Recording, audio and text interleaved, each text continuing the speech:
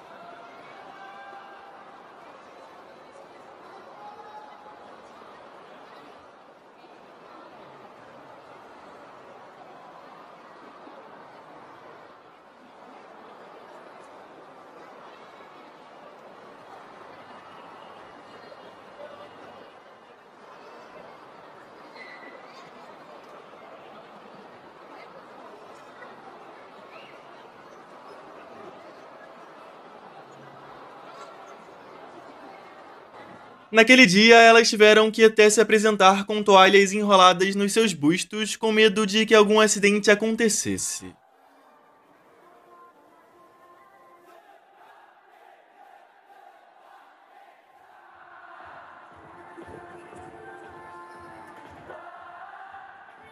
Além do Twice, um grupo que costuma sofrer com seus figurinos é o Red Velvet. Principalmente a Irene tem uma história longa com seus vestidos claramente desconfortáveis.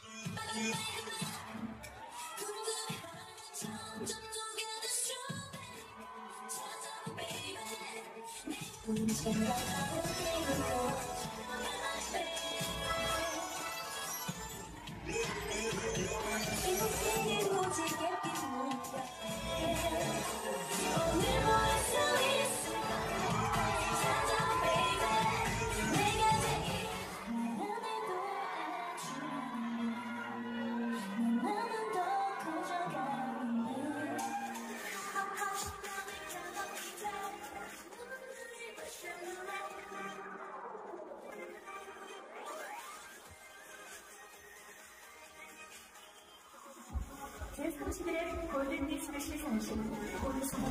Joy e o resto do grupo não ficam para trás, já que elas também passaram por situações como essa.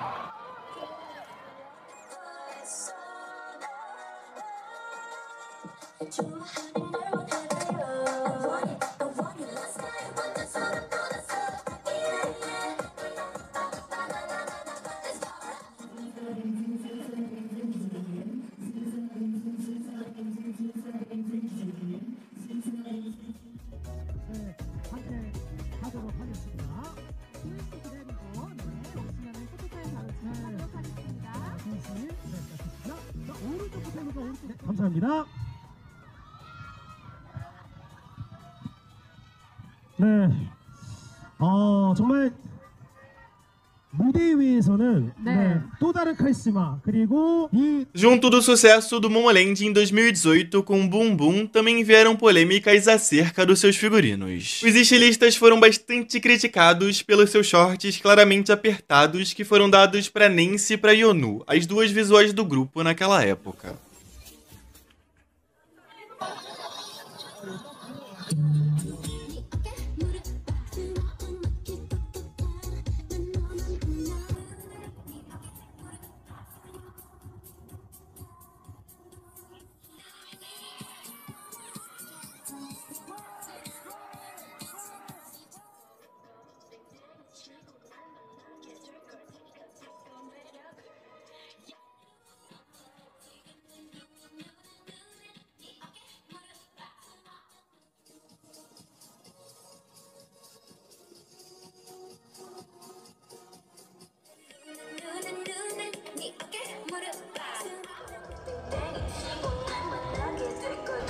Outro grupo que sofreu com seus shorts apertados foi o de Friend na época do seu debut. Algo que felizmente aconteceu na estreia do grupo, já que com o tempo seus figurinos foram ficando melhores.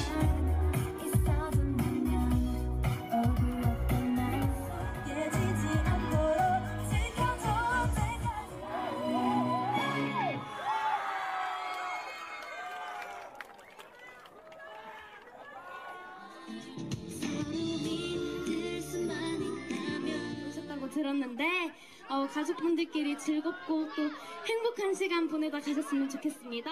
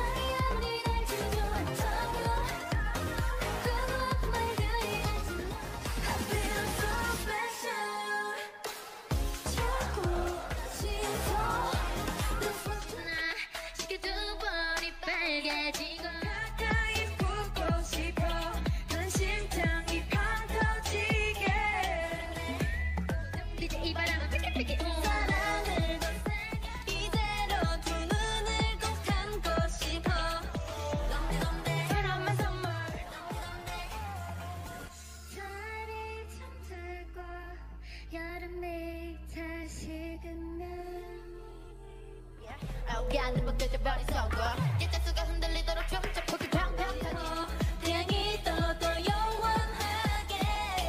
오르는 밤. 날이 잠들고 여름에. 지는 슈